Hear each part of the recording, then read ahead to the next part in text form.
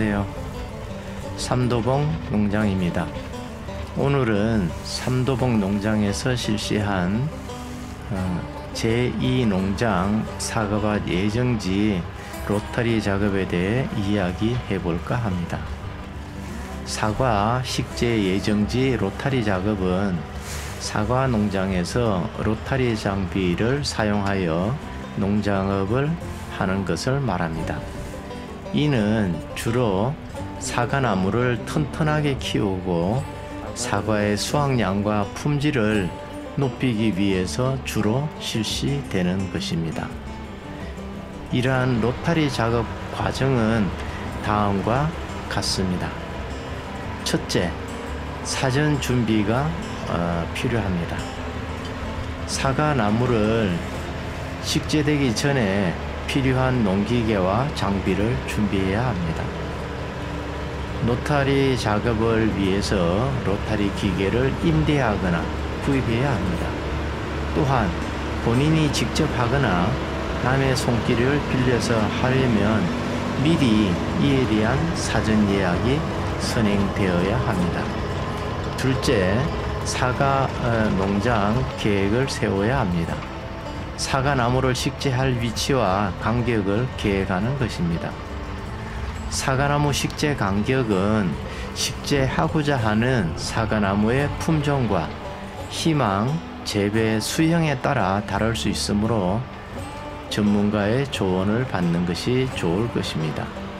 셋째로는 로타리 작업을 하는 것입니다. 로타리 기계를 사용하여 농지를 일구고 농지에 고르게 비료와 토양 계량제를 섞어 주는 것을 말합니다. 이 작업은 농지의 토양 구조를 개선하고 물과 양분이 사과나무에 잘 흡수될 수 있도록 도와주는 것입니다. 삼도봉 농장의 경우 미리 토양 검정을 실시한 결과를 토대로 용성 인비 20kg 두 포를 로터리 하기 전에 시비하였습니다. 따라서 제2농장 사과밭을 조성하기 위하여 이러한 사과 재배 예정지를 로타리 한 것입니다. 넷째로는 식재 준비를 하는 것입니다. 로타리 작업이 완료된 농, 지에 줄자를 이용하여 계획한 대로 두둑과 골을 먼저 만듭니다. 사과나무를 식재할 위치와 간격을 품종과 희망, 재배 수형에 따라 각각 미리 관리기를 활용하여 만드는 것입니다. 삼도봉 농장의 경우 우선 품종은 중생종인 아리수와 만생종인 BRB 부사 두 품종 모두 대목은 M9으로 결정하였습니다. 그리고 식재 거리는 4m, 2m가 되겠습니다. 그리고 희망 재배 수형은 세형 방추형으로 하기로 결정하였습니다. 이에 따라 관리기를 이용하여 두둑과 골을 만들 계획입니다. 이 농장은 물 빠짐이 좋고 사질 양토가 양토이기 때문에 두둑은 너무 높지 않게 30cm 정도로만 만들 계획입니다.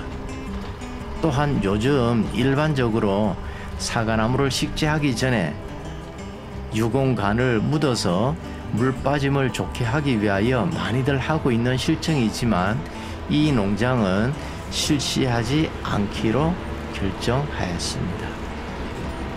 그리고 먼저 사과나무 식재를 한 다음 지주대와 간수시설 등은 5월 말 내지 6월경에 완료하고자 합니다. 즉 관수시설인 스프링클러와 점적 간수시설, 지주대 고정, 지주, 지주선 이런 것들은 그때 설치할 예정입니다. 다섯째, 식재 하는 것입니다.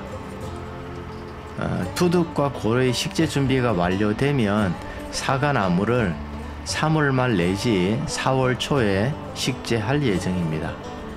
식재할 때는 나무의 전목 부위에서 부위에 부위가 어, 수세가 약한 아리수는 전목 부위에서 10cm 정도 남기고 심고 수세가 강한 미야비 부사는 20cm 정도 전목 부위가 보이도록 주의해서 식재할 예정입니다.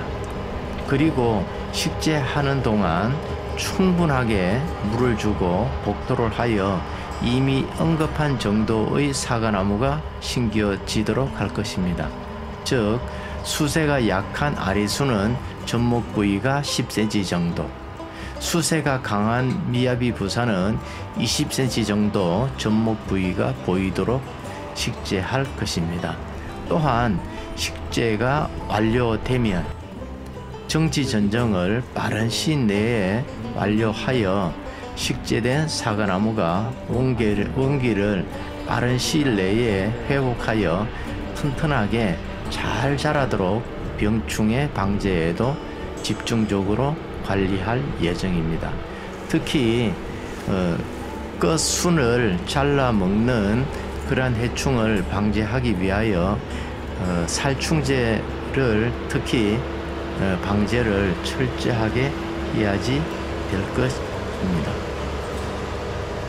어, 사실 로타리 작업을 하는 과정에서 어, 생각해야 되고 할 부분들을 말씀을 올렸습니다. 이상입니다. 긴 시간 동안 함께 해 주셔서 대단히 감사합니다. 또한 다음 시간에도 더욱 좋은 동영상으로 함께 하도록 노력하겠습니다. 다음에 또 찾아뵙도록 하겠습니다. 감사합니다. 삼도봉 농장입니다.